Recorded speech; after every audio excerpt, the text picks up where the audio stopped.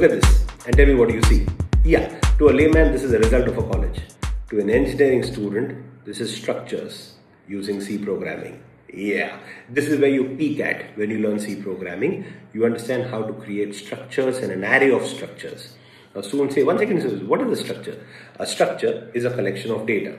It's different from an array. An array is also a collection of data, but in an array, all the data has to be of the same data type, either all integers or all floats or all characters, etc. But in a structure, this is more realistic. All data is not the same data type.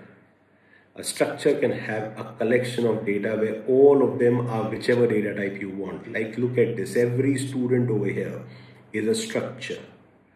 The student has a roll number, that's an integer, a name, which is a string, which means a character array, marks, which is an integer, percentage, which is a floating point number, grade, which is just a single character.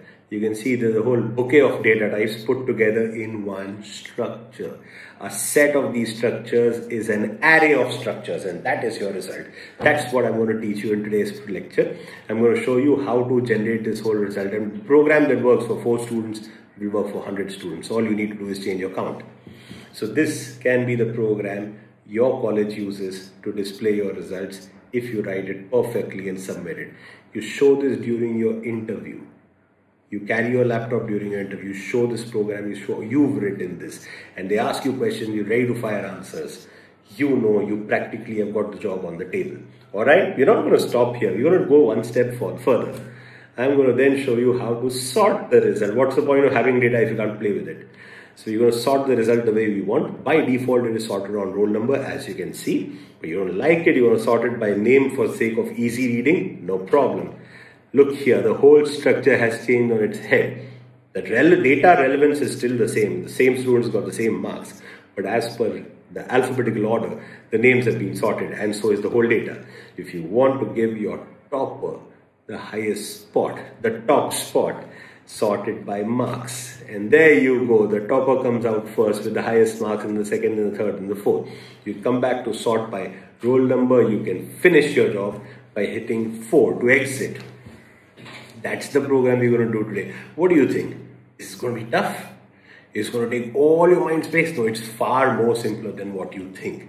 Programming is very easy if it's taught the right way to you. No, there are no shortcuts. I'm not going to give you a shortcut. There isn't but I'm going to show you the simple way of learning things. A good teacher can show you how to dodge all the unnecessary aspects and first learn the essence of programming to the point where you can write good code and then understand all the extra bits. Now, anyway, this whole program is there on my website along with the entire course of C programming, bharatacharyaeducation.com. The link is given down below.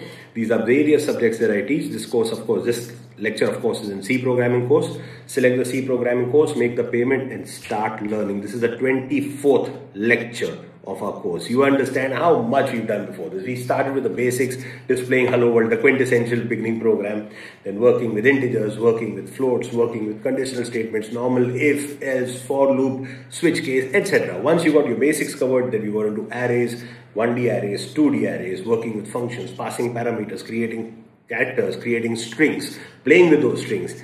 And now we are doing structures, the peak of C programming and your entry into C++.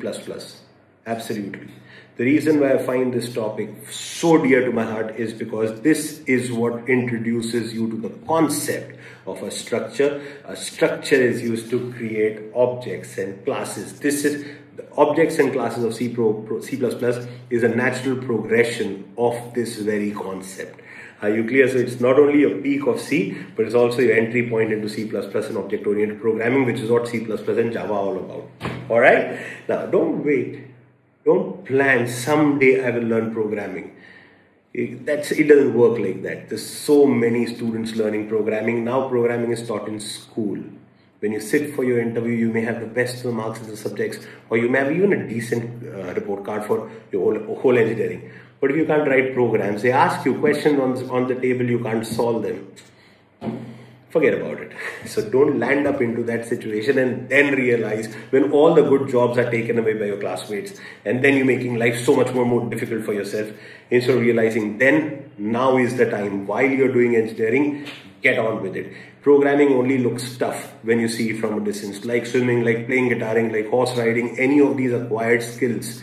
They only look tough when you don't know it.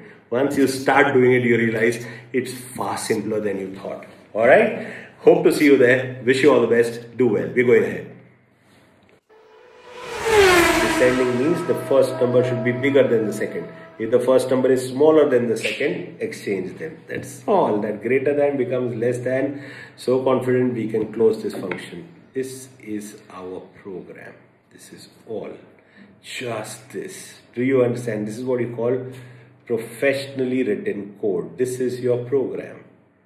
Run this and it works for every case. Sorted by roll number, sorted by name, sorted by marks and there comes our topper shining right at the top. Are you clear? All cool? Change it for 10 elements, 15 elements, 20 elements. Show this to your teacher. Show this is how you want the result should to appear. I remembered in my college the way it was printed out you don't even feel like looking at it. When you know as a programmer you can create such better looking results with such cool options. You can add more options right? Uh, when you say marks it's theory marks practical marks viva marks etc and then in sorting you can have all the options. You can see who's the topper for viva who's the topper for theory and so on. Then I've, I've taught you how to play cricket and I've given you the playground. Now play. That's programming the teacher gets you to the point where you know how to do things. How well you do it and how creative, it, creative you are, that's on you. Alright? I hope you enjoyed this. Please make these, run these. Alright? In some of my Instagram reel, I have made a similar uh, program for cars where I've given all attributes of the car the 0 to 100, the top speed, uh, the prices and the mileage, etc. And then you can sort the table based on that. Look at that reel and try to recreate that or create some other situation of your own and show me those. Okay? I want to see how good you can do this. I'll feel very happy if you do. All the best. Do well.